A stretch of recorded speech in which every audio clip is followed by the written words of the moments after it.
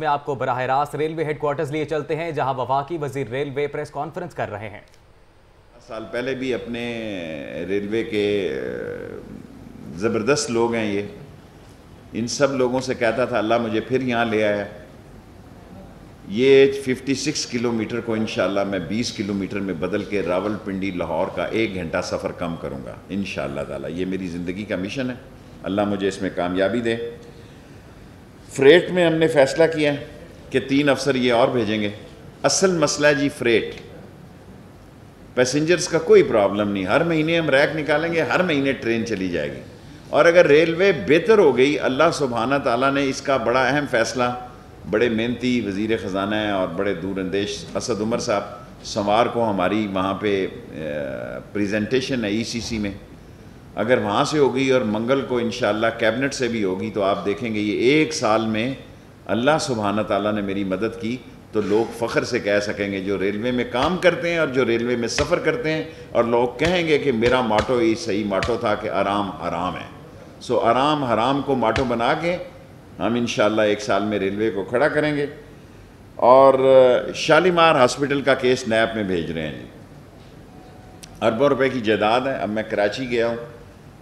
وہاں ہر آدمی ہمیں راستہ بتا دیتا ہے جی یہ زرعی زمین ہے جی یہ کچی آبادی ہے۔ ہم بے وقوف نہیں ہیں جی۔ بارہ سال پہلے شاید میں اتنا میچیور نہیں تھا۔ نو، اللہ کی مجھ پہ خاص عنایت ہے۔ آئی کین سی بیہائنڈ اے وال سو پہلا کیس بھیج رہے ہیں لاہور سے۔ نیب کو شالیمار کا اور بھی بھیجیں گے۔ کراچی والوں سے ہم بات کر رہے ہیں جی بڑے بڑے ملٹی بلینر ہیں۔ ان کا کیس پرائم منسٹر کے پاس لے کے جائیں گے۔ یہ ریلوے بھی کھڑی ہو سکتی ہے اور پاکستان کے قرضے بھی ادا ہو سکتے ہیں۔ جو لوگ بڑی معذرت کے ساتھ کنٹریکٹ پر ہیں، ریلوے میں وہ خود چلے جائیں۔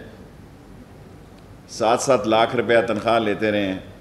ایک آفیشل بائیس گریڈ میں جا کے دو لاکھ، ڈھائی لاکھ رہتا ہے۔ ساری زندگی دے دیتا ہے۔ اور یہ مفت بر بلیو آئیڈ آ جاتے ہیں اور سات سات لاکھ روپے اور ساٹھ ساٹھ لاکھ کے ٹور کرتے ہیں۔ Everybody should leave before the next Saturday respectively اور جو لوگ چھٹیوں پہ گئے ہیں، دو دو سال وہ مہربانی کریں، وہ قابل احترام ہیں افسر ہیں، تنخواہ کے ساتھ دو دو سال باہر گئے ہیں۔ اگر تو واقعی ان کا رہنا بہت ضروری ہے، تو وہ بتائیں چیئرمین ریلوے کو، مجھے کوئی اعتراض نہیں۔ نوجوان پی ٹی آئی کے بڑی تعداد میں جی سپورٹس میں آ گئے ہیں ریلوے کی، وہ وائی فائی اور یہ کیا ہوتا ہے جی ٹریکر میں، مفت کراچی میں آ کے بیٹھ گئے ہیں۔ آسٹریلیا سے پی ٹی آئی کے بعض نوجوان آئے ہیں۔ فری آف چارج لاہور سے بھی میں نے اس نوجوان کے ساتھ جو لوگ ہیں، جو آئی ٹی کے ایکسپرٹ ہیں، میں نے آپ سے ساٹھ دن کا وعدہ کیا ہے، سو دن کا پرائم منسٹر خود خود میرا وعدہ ایک سو بیس دن کا ہے۔ میں آپ سے وعدہ کرتا ہوں کہ ساٹھ دن کے اندر پروگرس دکھاؤں گا۔ کیونکہ یہ نوجوان لوگ جو میرے ساتھ چل پڑے ہیں، میں میں تو اپنا موبائل فون آج تک میں نے ٹویٹ ہی نہیں کیا جی۔ پتہ نہیں چالیس لاکھ لوگ کیسے وہ دیکھتے ہیں، مجھے ان کا شکریہ ہے۔ میں نے آج تک سنگل ٹویٹ نہیں کیا۔ یہ جو لوگ ہیں میسج ریکارڈ کرا دیتا ہوں۔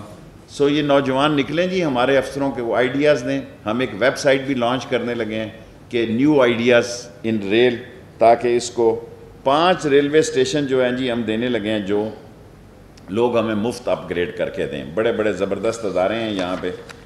بڑے بڑے زبردست جو ہیں، وہ بلڈرز ہیں۔ ہمارا سب سے احترام ہے، سب سے ہمارا قابل احترام ہے۔ کوچز کا میری بد نصیبی سمجھیں۔ میں پہلے وزیر منسٹر بنا تو sixty nine locomotive NAB کا کیس تھا۔ اب وزیر بناؤ تو fifty five locomotive double price NAB کا کیس ہے۔ اور میں کوئی ایسی بات نہیں کہنا چاہتا کسی کے نہ خلاف، نہ کسی کی تحقیقات میں۔ کوچز کے لیے اعجاز صاحب کو میں نے کہا اور ملک منظور صاحب کو کہا کہ ہمیں کوچز جو ہے لوکلی رسال پور میں جی کوئی کام نہیں ہو رہا۔ بڑی معذرت کے ساتھ مزدور کام کرنا چاہتا ہے۔ ہم اس پیسنجرز کو اور یہاں لاہور میں بھی اور کیرج فیکٹری میں بھی ہم اس کو ڈبل شفٹ بھی کر سکتے ہیں۔ ان شاء اللہ تعالیٰ، اللہ میرے نے چاہا تو ہم اس کو جو کوچز کا پرابلم ہے، کوچز کے پرابلم کو ہم ٹھیک کریں گے۔ ایک سو باون لوکو موٹیوز جو ہیں جی ہمارے، اس میں سے سیونٹی ایٹ جو ہیں، وہ تھرٹی ایٹ کو ہم نے ٹارگٹ بنایا جی۔